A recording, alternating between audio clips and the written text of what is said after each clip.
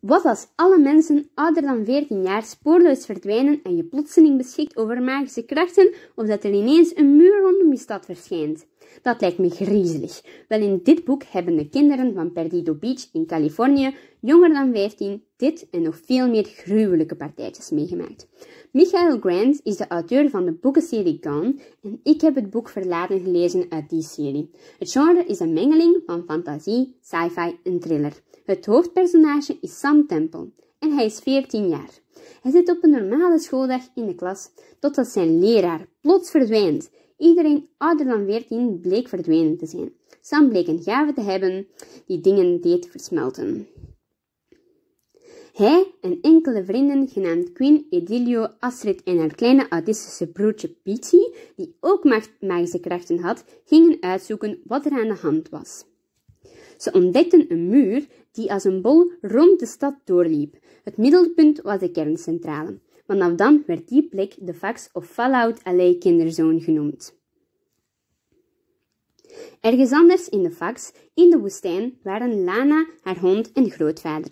Toen grootvader plots verdween, stortte de auto in een ravijn, maar gelukkig ontdekte Lana dat ze over genezende krachten beschikte om zichzelf en haar hond te genezen. In de woestijn maakte ze kennis met pratende coyotes, die haar dwongen om haar te volgen naar de mijn waar de duisternis zich bevond. Lana zag het en kon nog net op tijd ontsnappen. Terug in de stad kwamen de leerlingen van Coach Academy, een kostschool voor kinderen die iets hebben misdaan. Kane was de leider van Coach Academy omdat hij over de sterkste krachten beschikte. In het begin wist hij enige orde te scheppen, maar gaandeweg voerde hij met een aantal volgelingen een kwaadaardige dictatuur. Hij ontdekte dat hij Sam's tweelingbroer was en stuurde zijn trouwe kameraad Drake, die gestoord en sadistisch was, op Sam af om hem te vermoorden. Daarom vluchtten Sam en, en enkele vrienden richting de woestijn waar ze Lana tegenkwamen. Na enige tijd had Sam een grote groep kinderen gevormd die het samen zouden opnemen tegen Kane.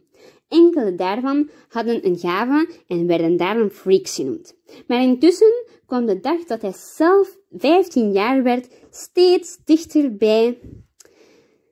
Zal hij zijn broer kunnen verslaan voor hij verdwijnt of zal hij helemaal niet verdwijnen? Wie of wat heeft de fax veroorzaakt en zullen de verdwenen mensen ooit terugkomen? Als je dit graag te weten wilt komen, dan moet je het boek zeker eens lezen. Ik vond dit boek extreem spannend en ik had vaak de neiging om te blijven doorlezen, wat een goed teken is. Jullie zouden het ook kunnen lezen omdat het best wel een verrassend einde had en er staan soms wel grappige opmerkingen in.